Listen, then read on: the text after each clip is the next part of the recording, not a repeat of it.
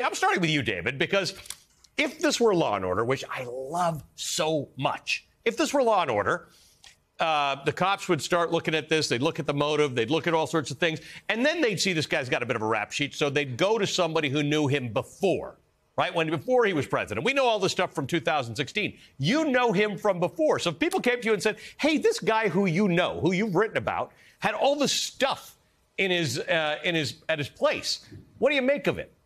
What would you have said? Well, Don, Donald fits perfectly the law and order model of the mobster who, along with his family, has never been caught because Donald's very good at uh, running out the clock, ratting out other people, and complicating uh, the case. Um, I think, however, we're at the stage where the prosecutors have to decide how they're going to shape the case. Uh, you, you, don't want to bring a kitchen sink case. You want to bring the case you can win. And that's the real challenge now is what of the many different crimes or collections of crimes that you could hit Donald Trump with are you going to want to bring because that's the case you know you can win. Okay, Glenn Kirschner, here's the problem. The case you can win is the obvious case. It's the case that these documents shouldn't have been there.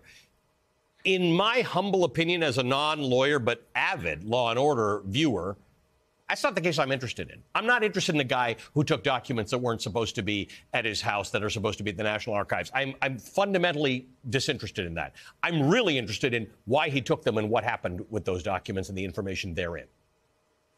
Yeah, Ali, and the law and order theme is so apropos. Um, and, and, it's not just about bringing the case we can win. And I, and I think there are any number of cases to be brought against Donald Trump, whether it's, you know, mishandling classified information and or inciting an insurrection. But I also think at this moment, what we need to do is assess the potential damage to our national security that might be part and parcel of what Donald Trump did. You know, when I tried cases for 30 years, I was a simple, straightforward prosecutor.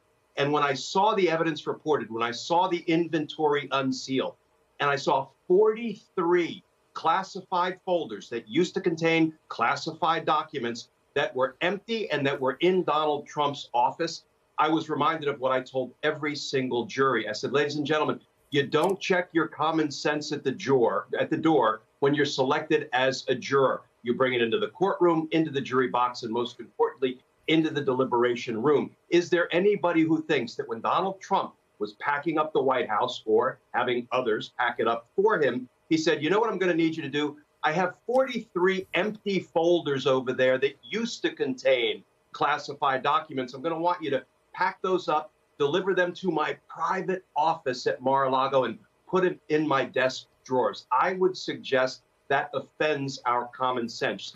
We now know that there's a potential security threat as a result of whatever he did with these documents. That has to be assessed in real time. Joyce Vance, uh, let's talk about the defense, right?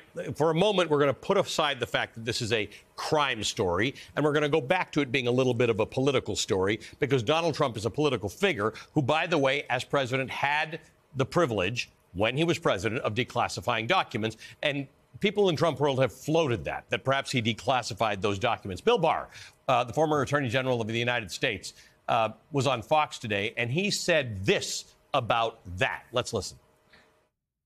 What people are missing is that all the other documents taken, even if they claim to be executive privilege, either belong to the government because they're government records, even if they're classified, even if they're uh, subject to executive privilege. They still belong to the government and go to the archives. If, in fact, he sort of stood over uh, scores of boxes, not really knowing what was in them, and said, I hereby declassify everything in here, that would be such an abuse uh, and uh, that and shows such recklessness that it's almost worse than taking the documents.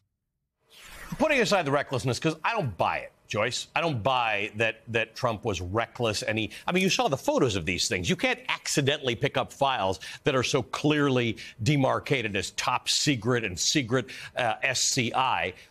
How how does that defense stand up? If you're prosecuting this case, the I just declassified them. Does that work? Well, it doesn't work at all. And it doesn't work for a number of reasons. First off, is even the former attorney general has conceded that's just not how declassification works. The whole point of classified documents is that they protect secrets. Even for declassification by a president, you have to go through a procedure. The documents have to bear markings showing that they're no longer classified.